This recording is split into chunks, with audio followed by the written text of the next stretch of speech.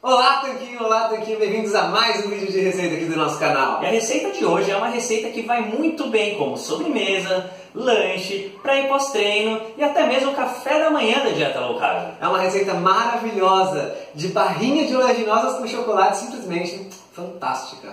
E se você gosta de barrinha e gosta de lanche e sobremesa low carb, então já deixa o seu like aqui no canal.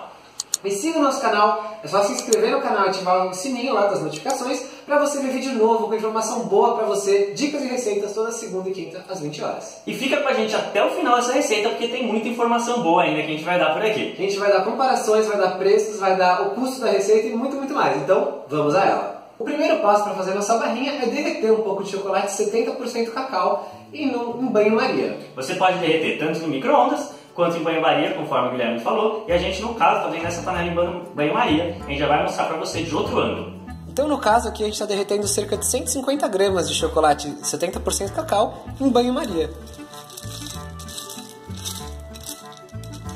E agora, numa forminha, a gente vai despejar 120 gramas de nuts variados.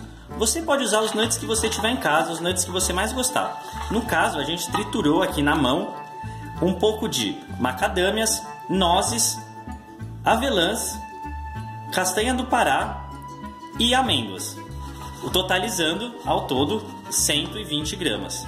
Nossa, senhor Tanquinho, mas não vai ficar muito cara essa receita impossível de fazer comparado com outras barrinhas? Não, não vai, não vai. E se você quer saber por que não vai, fica com a gente que a gente vai te falar depois que a gente terminar a receita. Então vê o vídeo até o final, não perde nada, para você ver o passo a passo e também ver o custo total da receita e a comparação com outras barrinhas. Bom pessoal, a gente tirou do banho-maria, agora estamos mexendo aqui o chocolate que está bem líquido e a gente vai espalhar ele em cima do, das nozes. É bom você deixar elas bem espalhadas em cima da forma. Então pessoal, agora o chocolate já está derretido aqui, tá vendo? Bem derretido. A gente vai jogar os nossos mix de oleaginosas aqui dentro, misturar bem e voltar ele para uma forminha. Colocar ele numa forminha.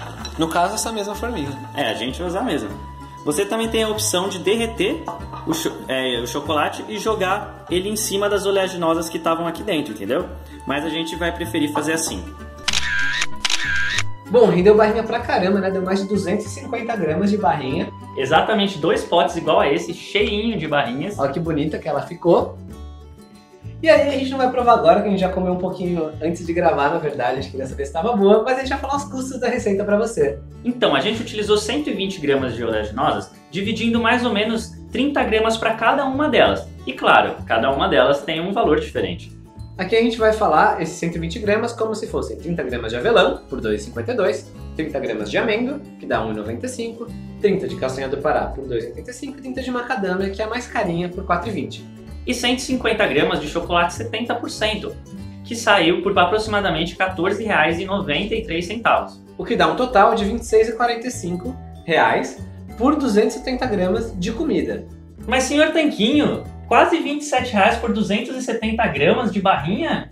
Não é muito caro isso? Não, não é muito caro. Porque a gente vai mostrar agora uma comparação com algumas opções de barrinha comuns que fazem muito mais mal para sua saúde. E antes de mais nada, é importante lembrar que esse preço é o preço cheio das, dos alimentos. Porém, você tem direito a 10% de desconto por ter visto até aqui e por acompanhar nosso canal. Na loja Tudo Low Carb, que é de onde a gente pesquisou esses preços, você ganha 10% de desconto na sua compra se você usar o cupom SR Tanquinho no checkout. Então, anota aí se você quiser 10%. O link dela está aqui na descrição, tudolowcarb.com.br, cupom no checkout SR Tanquinho. Agora vamos comparar com um monte de lixo que você pode comprar pelo mesmo preço. Nosso primeiro exemplo é uma barrinha que a gente achou pelo mercado, se chama Nature Valley. E ela custa aproximadamente 30 reais por 330 gramas dessa barrinha de cereal supostamente saudável.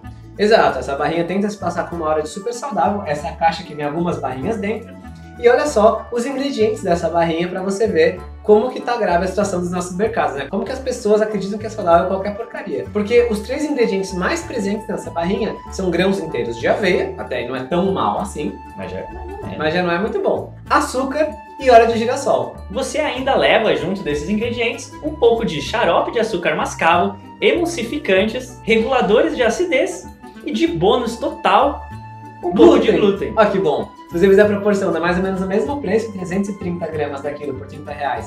E esse aí, 250, 270 gramas por 26, 27 reais. é o mesmo preço, só que um é muito mais gostoso, porque tem chocolate, tem oleaginosas e tem um perfil muito melhor de nutrientes para você. O nosso segunda candidata é a barrinha BO2, não sabemos se é exatamente assim que se fala, mas ela vem com 250 gramas, dentro delas vem algumas nuts, né, algumas oleaginosas, mas... Também vem de brinde flocos de milho, amendoim, flocos de quinoa e flocos de amaranto. Ou seja, você está pagando bem caro, né? Porque é cerca de 25 reais esse pacote de 250 gramas, por algo que tem um monte de ingrediente barato, como por exemplo os flocos de milho. É muito mais em conta você fazer em casa aqui uma barrinha. A gente está usando macadâmia, que é muito mais caro do que flocos de milho.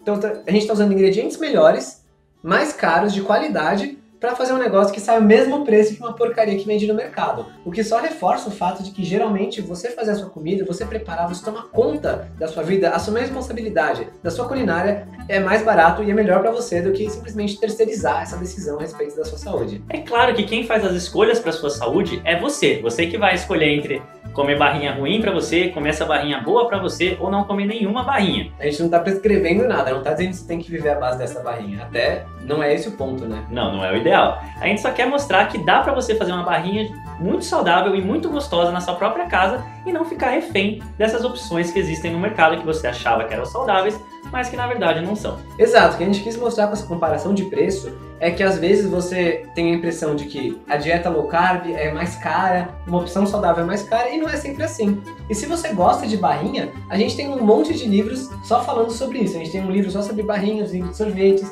a gente tem uma coletânea de receitas doces saudáveis para você que se interessa por isso e quer fazer escolhas melhores na sua sobremesa e todo o tempo da sua vida, na verdade. Trata-se da nossa coletânea de receitas de sobremesas low carb para você emagrecer com prazer. Lá você vai encontrar diversas receitas temáticas, como por exemplo, barrinhas, cupcakes, bolinhos de caneca, você vai encontrar receitas de doces juninos, de doces típicos brasileiros e ao redor do mundo todo. Você vai ter, você vai aprender a fazer outros ingredientes na sua própria casa, também para você se livrar dessa questão de ser refém de marcas e produtos industrializados, cheios de conservantes, processados, enfim, uma verdadeira aula, uma verdadeira revolução no jeito de você comer sobremesa. O link para essa coletânea, que eu acho que você vai gostar muito, está aqui na descrição também, vale a pena conferir.